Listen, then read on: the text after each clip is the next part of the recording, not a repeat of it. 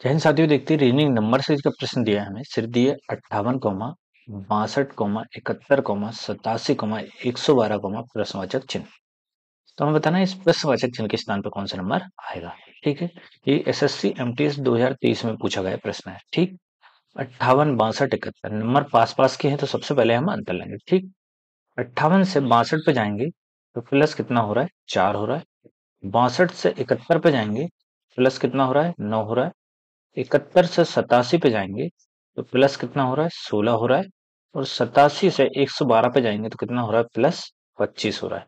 अब इन नंबर को ध्यान से देखते हैं। चार, नौ, सोलह, पच्चीस। चार भी किसी संख्या का स्क्वायर है, नौ भी स्क्वायर है, सोलह भी। तो किसका है? ये दो का स्क्वायर है, ये तीन का स्क्वायर है, सोलह जो है चार का स्क्वायर है, पच्चीस जो है पाँच का स्क्वायर है। दो, तीन, चार, पाँच, छह। यानी कि आगे क्या आएगा? छह। छह का स्क्वायर आएगा तो छह का स्क्वायर कितना? यहाँ पे छत्तीस आएगा। तो अब 112 में हम कितना जोड़ेंगे? 36 112 में हम 36 को ऐड कर देंगे। तो हमें कितना मिलेगा टोटल छह और दो आठ, यानी एक सौ अड़तालीस मिलेगा। यानी प्रश्नवाचक चिन्ह के स्थान पर एक सौ अड़तालीस तो ऑप्शन नंबर डी हमारा राइट आंसर हो जाएगा।